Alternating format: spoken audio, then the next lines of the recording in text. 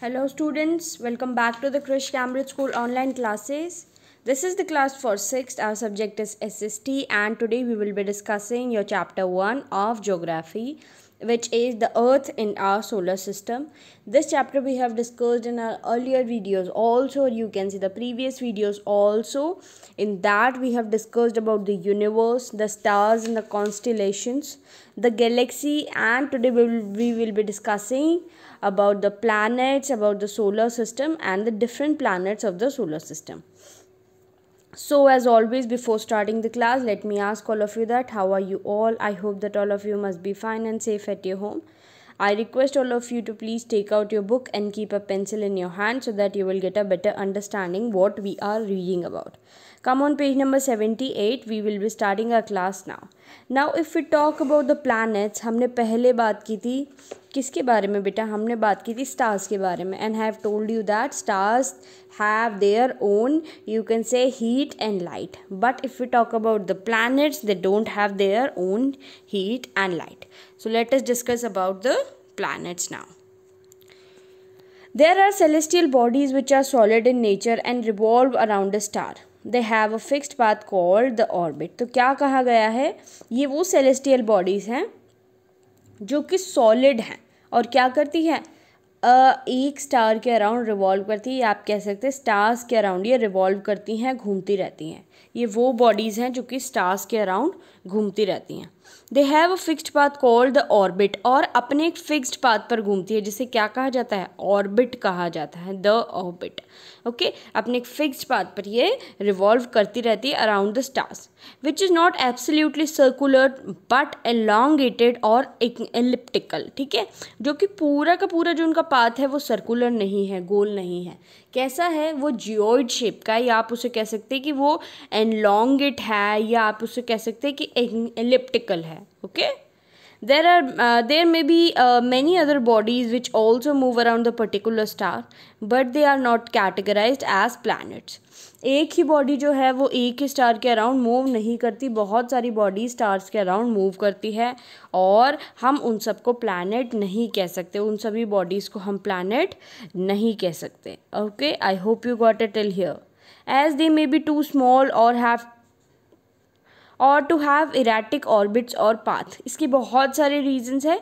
एक रीज़न तो ये हो सकता है कि वो बहुत ज़्यादा बहुत ज़्यादा छोटे हैं, या ये हो सकता है कि उनका जो ऑर्बिट है और पाथ है, वो बिल्कुल ही डिफरेंट है, बहुत ही ज़्यादा इराटिक है ओके सो so, आपको ये नहीं सोचना है कि अगर स्टार के अराउंड कोई और सेलेस्टियल बॉडी घूम रही है तो वो सारे प्लैनेट्स हैं। No there are only some number of planets जिनको कि प्लैनेट्स का दर्जा मिला है वो कुछ ही हैं नंबर्स में। Okay yes planets are of many size and planets are of many size you will get to know about it.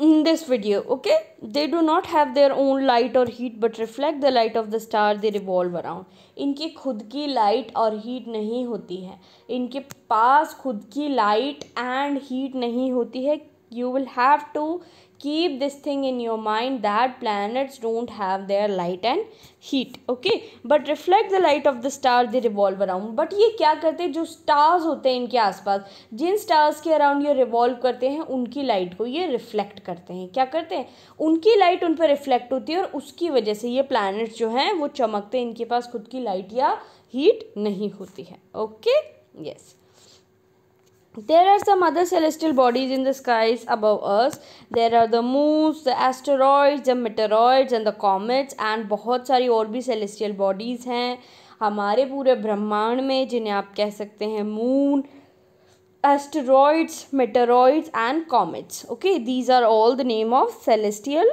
bodies yeah so these are the name of the celestial bodies moon asteroid meteoroids and comets now we will read about the solar system that what is solar system.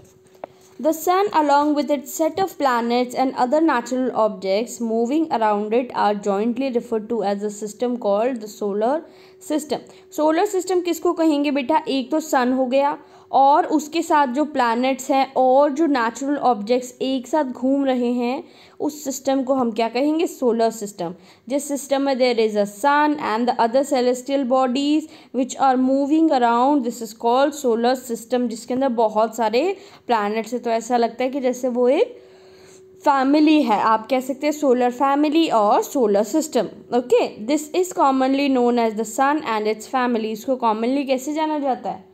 Sun and its family, sun और उसकी family. इसके अंदर क्या है बेटा? ये set of planets है और भी नेचुरल ऑब्जेक्ट्स है जो कि सन के अराउंड में घूम रहे हैं, घूम रहे हैं। They are revolving around the sun so these are known as the sun and its family now we will read about the sun that what is sun okay yes so let us read about the sun the sun is the closest star to our earth sun जो है हमारे earth के सबसे closest star है। ये ध्यान रखना है। सन एक स्टार है और सन हमारे अर्थ के सबसे क्लोजेस्ट स्टार है। It is huge ball of burning gases and this is a ball huge ball of burning gases जो जलती हुई गैसेस होती है, उसका ये एक क्या है? एक बहुत बड़ा बॉल है। It has a diameter of about 1 lakh uh, you can say 1 crore 300,000 kilometer. You can say 1 crore 3 lakh kilometre और nearly hundred time that of a earth और इसका डायामीटर आप देख लीजिए one crore three lakh kilometre या आप कह सकते हैं hundred times of the earth हमारी पृथ्वी का सौ गुना बड़ा। इसका डायामीटर है ओके इसका डायामीटर हमारी पृथ्वी से सौ गुना बड़ा है। आप पृथ्वी को देख सकते हैं और उसके बाद आप इसका अंदाज़ा लगा सकते हैं कि ये कितनी बड़ी है।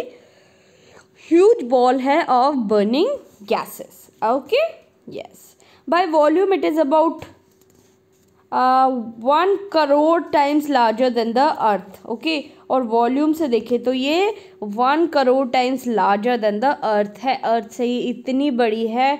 आप अगर डायमीटर की भी बात करेंगे, उसमें भी ये बहुत बड़ी है। And if you talk about the volume then also it is so so so huge it is estimated that the temperature on the sun sun's surface is about 6000 is about 6000 celsius. Six thousand degree Celsius का temperature होता है सन की surface पे। अगर आप सन के temperature के बारे में बात करेंगे तो it it is six thousand degree Celsius.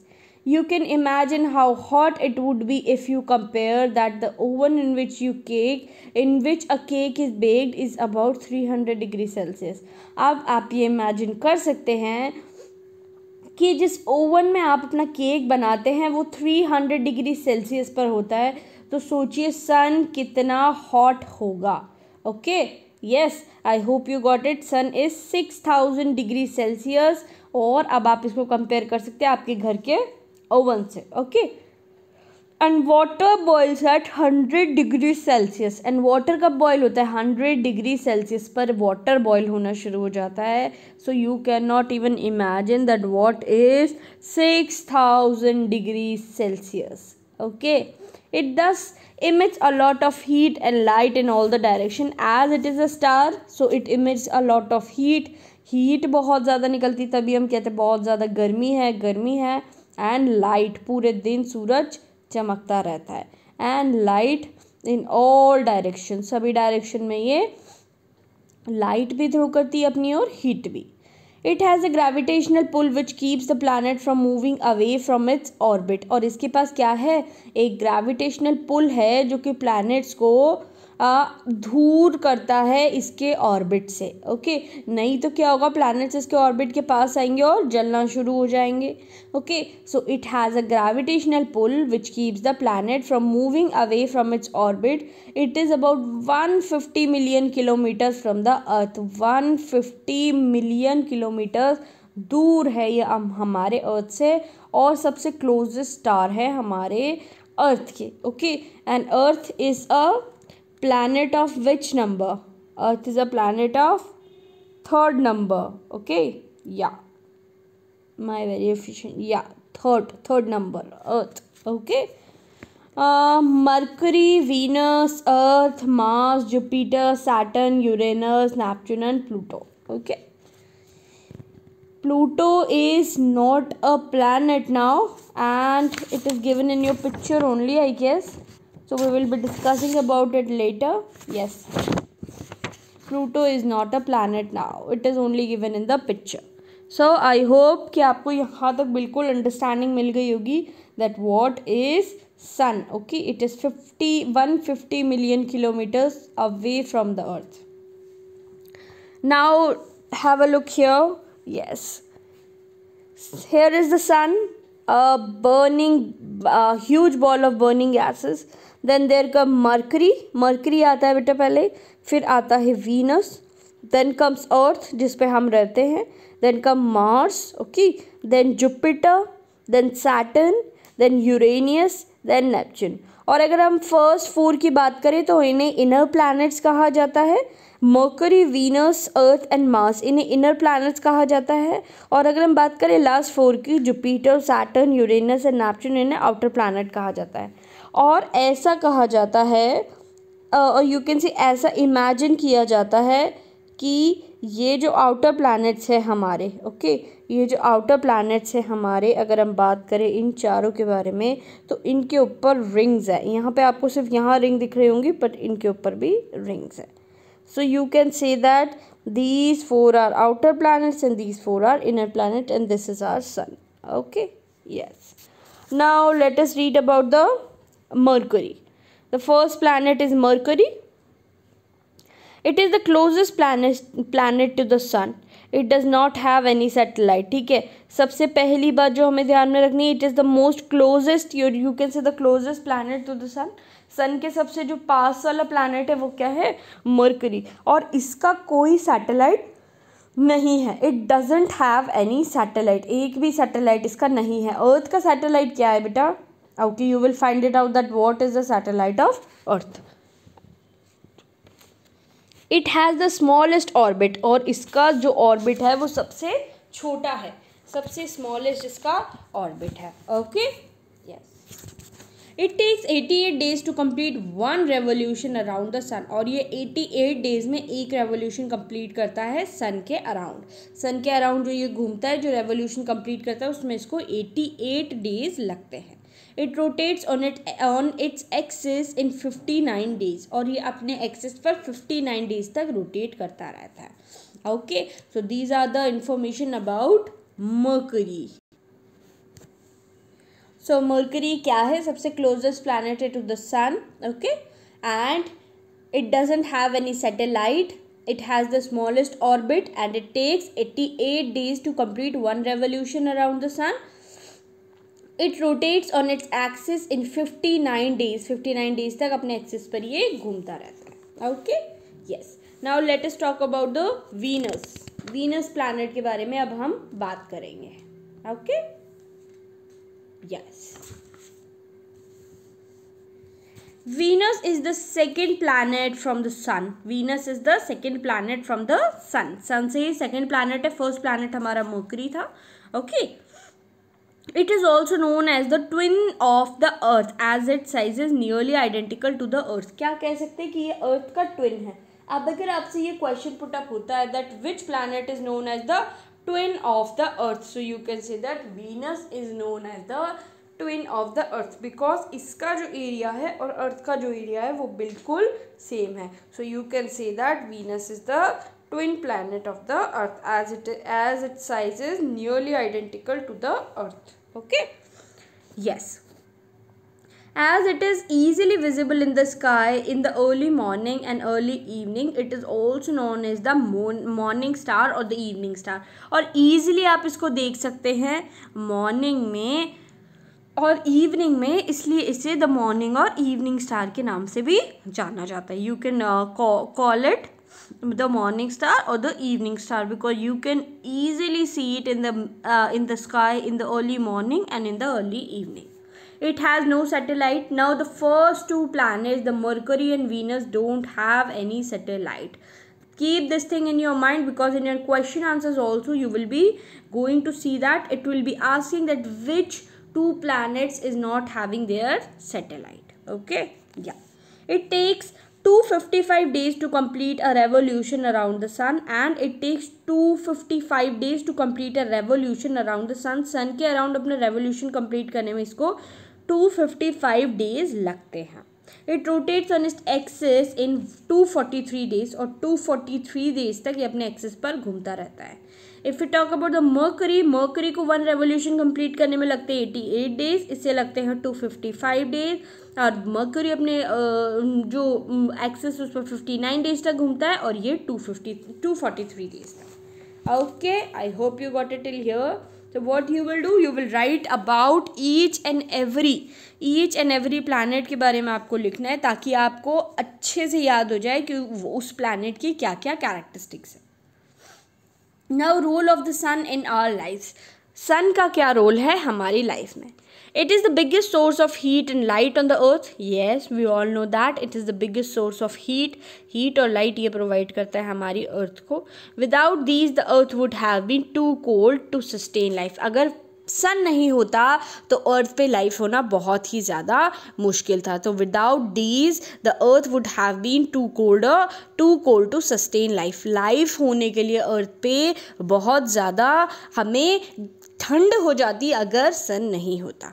The sun's energy is the basic requirement in production of food by the plants yes sun is very much needed by us also because it gives us the vitamin D and अगर food production की बात करें हम plants में तो sun is very much important its energy is very much important for the plants for the production of the food okay The sun causes water and air current, which cause movement and weather. और जो sun है ये water को भी cause करता है air currents को भी कॉज करता है, जिससे कि मोमेंट्स एंड वेदर्स में चेंजेस आते हैं ओके तो sun is very much important for us okay we should always जैसे कि कहते हैं, सूर्य देवता को सूर्य नमस्कार भी करते हैं, उनको प्रेज भी किया जाता है सूर्य देवता के नाम से। सो so, आप ये जान लीजिए कि सन के क्या क्या रोल्स हैं हमारे लिए। now let us talk about the planets of the solar system there are eight planets in the solar system i told you that pluto is not a planet it is only given in the picture but it is not counted as a planet now so the planets are mercury venus earth mars jupiter saturn uranus and neptune now if you really want an acronym to learn it so आप क्या कर सकते हैं my very you can write it down efficient. Okay write it down. My very efficient. My means mars. V means venus. E e means earth. Okay. My very efficient. Now comes mother. Means mars.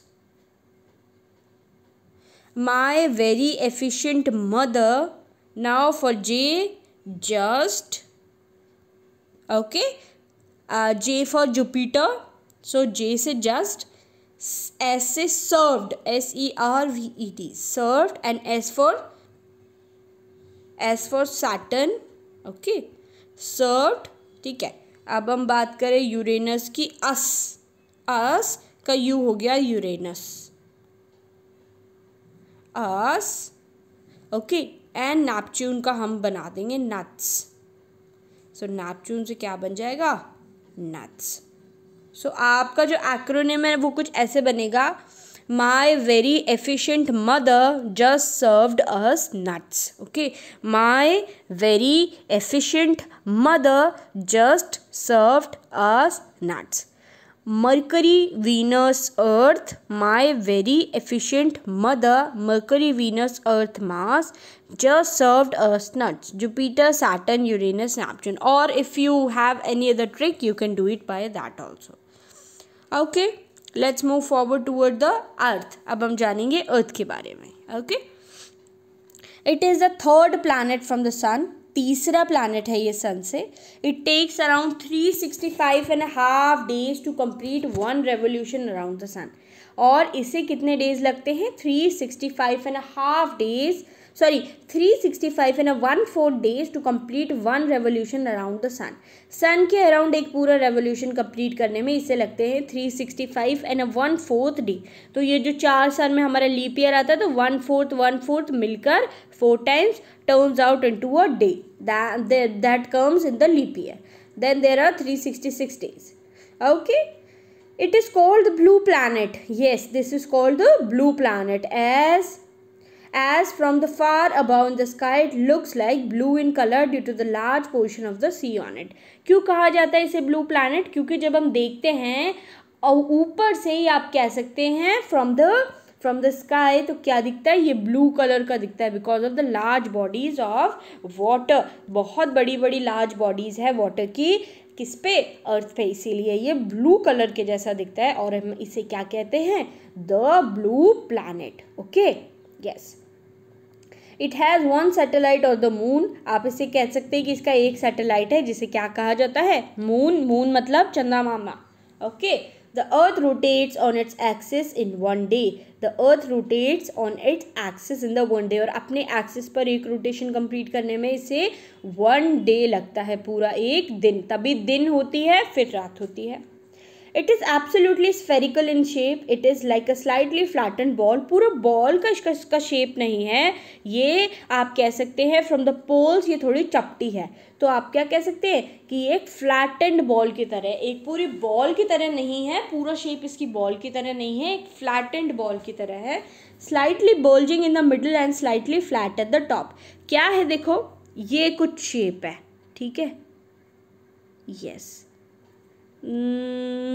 just give me a second okay we will make it like this या तो क्या हुआ? ये यहाँ से तो flat हो गई ओके okay? और यहाँ से फ्लैट हो गई, और यहाँ से बल्जिंग हो गई. So this is the shape which you can call geoid okay it is absolutely spherical in shape it is slightly flattened uh, slightly flattened ball slightly bulging in the middle and slightly flat at the top and the bottom it is called geoid इसे क्या कहा जाता है geoid कहा जाता है इसे क्या कहा जाता है बेटा इसे कहा जाता है geoid उस शेप को क्या कहा जाता है geoid okay it is spinning yeah so today we will be reading till here only it is spinning rotates one one complete circle in nearly 24 hours.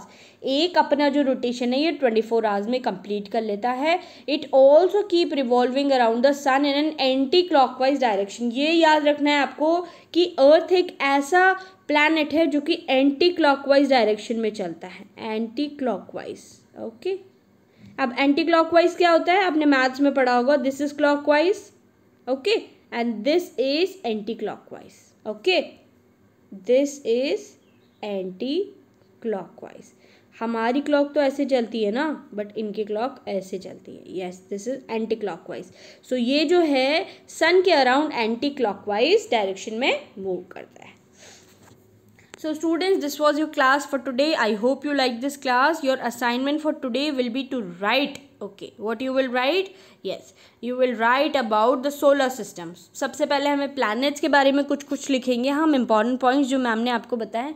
Then you will write about the solar system what is solar system what are the parts of solar system then you will write about the sun sun क्या है and why sun is very much important for us then you will write about yes then you will draw this picture ये picture आपको draw करनी है. This is your assignment okay then you will write about Mercury Mercury के बारे में भी आपको कुछ ना कुछ लिखना है।